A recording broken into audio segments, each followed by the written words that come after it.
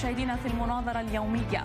مع استمرار وصول وفود من المسؤولين والأكاديميين الإماراتيين إلى إسرائيل وذلك في إطار تبادل الوفود بين البلدين جاءت زيارة هذه الدفعة منهم والتي وصلت اليوم إلى إسرائيل بالتزامن مع إعلان التطبيع بين إسرائيل والمغرب وبعد إعلان السلطة الفلسطينية إعادة سفرائها إلى كل من أبو ظبي والمنامة.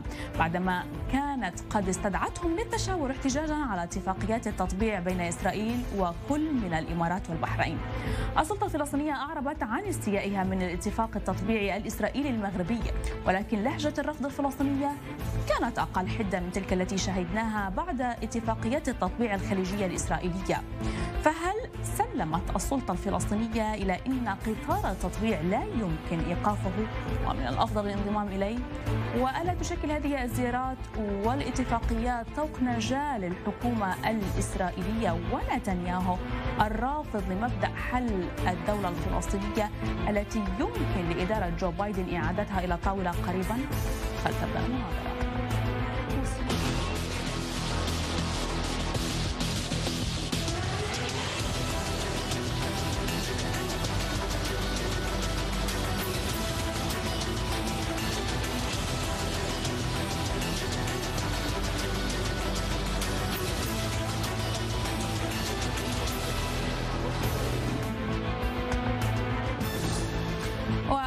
ارحب بضيوف هذه المناظرة من القدس الرئيس الإقليمي للمركز البريطاني لدراسات الشرق الأوسط السيد أمجد طه وأيضا من القدس ينضم إلي الوزير الفلسطيني الأسبق السيد أشرف العجمي. أهلا بكما. ودعوني أبدأ هذه المناظرة مع السيد أمجد يعني بداية نتنياهو في مازق داخلي إسرائيلي. الا تساعده زياراتكم هذه على أن يقول للإسرائيليين انظروا إلى ثمار السلام وبالتالي إنقاذه من هذا المأزق السياسي؟ آه، طبعا هنا أمثل نفسي وأمثل المركز البريطاني لدراسات الشرق الأوسط وكبريطاني عربي متابع آه، لما حصل من سلام بين مملكة البحرين والإمارات العربية المتحدة. وكذلك إن قطار السلام لن يتوقف كما قلنا سابقا وقلتها على برنامجكم. عندما انطلق من الإمارات العربية المتحدة لن يتوقف إلا أن كل العواصم العربية وكل العواصم الإسلامية تصل إلى المرحلة إعادة العلاقات العلاقات الدبلوماسية والاقتصادية والثقافية والفنية مع دولة إسرائيل الحرة. آه، الابتعاد تماما عن التطرف. ولهذا لأن كما كما تعرفون وحتى ضيفك من آه، آه، العجرمي عندما تحدث في 2017 عندما تحدث عن آه، السلطة الفلسطينية وفسادها وتحدث عن تعاونها المباشر مع مع دولة إسرائيل لوقف الإرهابيين واعتقالهم في وقتها هاجموا بعض الناس وطالبوا بمحاكمته ثم الآن آه، آه، آه، ولهذا أصبح سابقا وبسبب فساده كذلك. لأن هذه السلطة الفلسطينية تقول ما لا تفعل وتفعل ما لا تقول وكل ما يهمها يهمها المال لا يهمها طيب الشعب الفلسطيني سيد, سيد الرجاء الشعب الفلسطيني الذي رأيناه في القدس الذي رأيناه في القدس احترام الطرف الآخر. رأينا الشعب الفلسطيني في القدس يعيش بجنب الشعب الإسرائيلي طيب. بأمن وأمان واستقرار نعم دعني أنتقل إلى السيد أشرف العجم يعني السلطة الفلسطينية من طرفها أعادت سفرائها إلى أبو ظبي والمنامة ولو كانت هذه الزيارات والاتفاقيات مزعجة لماذا أعادت السلطة هؤلاء السفراء إلى بلدان كالإمارات والبحرين؟ يعني قبل أن نجيب على هذا السؤال في الواقع أريد أن أرد على ضيفك آه، يعني الذي يتحدث لا أعرف إذا كان يتحدث باسم عربي ولا باسم بريطاني. ولكن الكلام الذي قاله غير مقبول بالمرة. يعني أنا لما أقول السلطة فاسدة وأنا فاسد بما معنى وكل الناس قلت في يوم 12 9 2017 والشعب الفلسطيني طالب في محاكمتك وهنالك وسم في وقتها طالبوا بمحاكمتك. لا تكذب. على هذا سيد أمجد شيء. الذي تعنيه موجود شخصيا. دعنا نستمع إليك. أنتم تزور سيد أمجد أرجاء احترام الطرف الآخر. في القدس تعال احترام الطرف الآخر ودعنا نستمع إلى السيد أشرف تفضل. وأنت غير محترم. أنت لنستفيد من الوقت لن أسمح لك أن تكذب لن أسمح لك أن تكذب السيد أشرف لن أسمح لك أن دعنا نستمع إليك. اجلس. لا نستطيع إكمال هذه المناظرة إذا سيد أمجد رجاء. رجاء أنت وزير سابق لأنك فاسد. سيد أمجد الرجاء احترام الطرف الآخر لا نسمح للإهانات على شاشتنا. سيد أمجد. طالب بمحاكمتك. وأنت طالب برجاء. طرفي المناظرة وصفت الأسرى سأضطر إلى إنهاء المناظرة. المناظرة في حال أليس كذلك؟ أليس كذلك؟ احترام الطرف الآخر وإلا اضطررت أن أنهي هذه المناظرة الكنيسة الإسرائيلي وتحدثت أن الأسرى أن دفع رواتب الأسرى يدعم العنف. ضيفي العزيزين. أليس كذلك؟ ضيفي رجاء لنستمع إلى الطرف الآخر. سيد أمجد أخذت وقتك في التعبير عن رأيك والإجابة. أعطي السيد أنت تكذب. استحي على وجهك.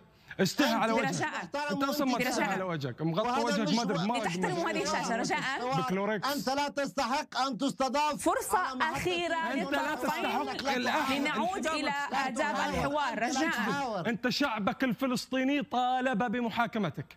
شعبك سيد أمجد. دعنا نستمع إلى السيد اشرف نداء أخير. عندما ذهب إلى الكنيسة ووصف دفع الرواتب الاسرى دفع الرواتب الاسرى قلت ياتي بالعنف ألم تقل هذا؟ ألم تقل هذا؟ لأنك ألم تقل هذا؟ ألم تقل هذا؟ ألم تقل هذا؟ تكذب. سيد أمجد. سيد أمجد. أنتم زي الفيروسات. أنا هنا أدير المناظرة رجاء رجاء. سيد أشرف إلا أنتم. بس الحمد لله وجدنا ال vaccine سيد أمجد. وجدنا ال vaccine لكورونا. الحديث ليس vaccine كورونا الآن. أنتم كذلك. دعي دع السيد أشرف يتمم الفكرة. هو لم يقاطعك فأعطيه حق الرد. تفضل سيد أشرف. هو ذهب إلى الك... لن أسمح له لأنه ذهب للكنيسة الإسرائيلي و... سنعطيك سنعطيك سنعطيك حق الرد. دعنا نستمع إليه أولا. الفلسطينيين يأتي بالعنف يأتي بالعنف. هو من قال ذلك في 12 9 2017 طيب وصل عليه أن يعتذر من اوصلت الفكرة دع سيد اشرف الزيارة الآن الزيارة الآن سيد أشرف العجمي هذا ليس نحن نتحدث عن بالضبط. هذا ليس الموضوع هذا ما قلته لا تكذب. من الكنيسة الإسرائيلية انت قلت ذلك. من الكنيسة سيد أمجد الموضوع ليس موضوع أمجد. ليس موضوع أشرف. لن نسمح لك ان تهاجم الاسرى الفلسطينيين من الأقصى المبارك. لن نسمح لك ولن نتحاور مع ناس مثلك فاسدين.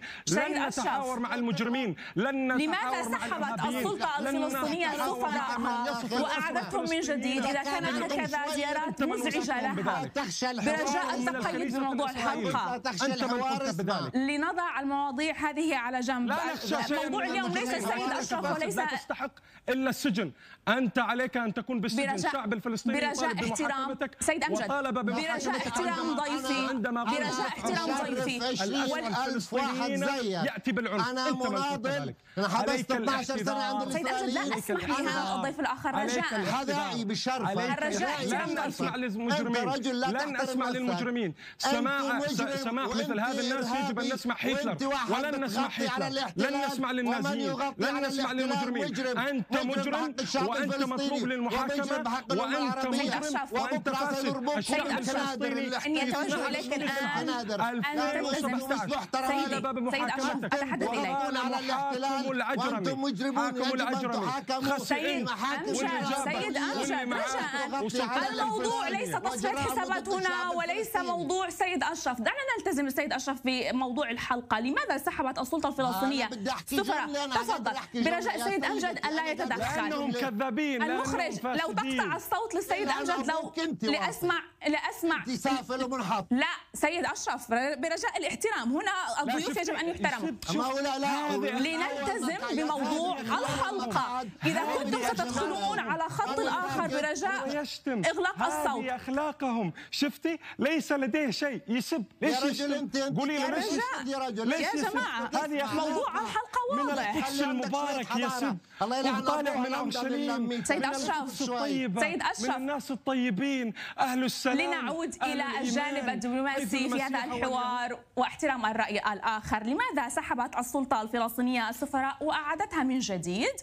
إذا كانت هذه الزيارات مزعجة. هي بدون شك مزعجة وهي بدون شك خروج عن المبادرة العربية للسلام. ولكن في نفس الوقت القيادة الفلسطينية والسلطة الفلسطينية لا تريد أن تدخل في صراعات ونزاعات مع الدول العربية. بالرغم من الألم والجراح التي تسببت بها هذه العملية عملية التطبيع مع الاحتلال الإسرائيلي بدون حتى أن يكون أن تكون القضية الفلسطينية جزء من هذا من هذا الحوار. وهذا بالرغم من ذلك القيادة الفلسطينية تعض على الجراح وتحاول لملمة الأمور والعودة إلى يعني ترتيب الصف العربي على أسس واضحة والاستفادة قدر الإمكان مما حصل.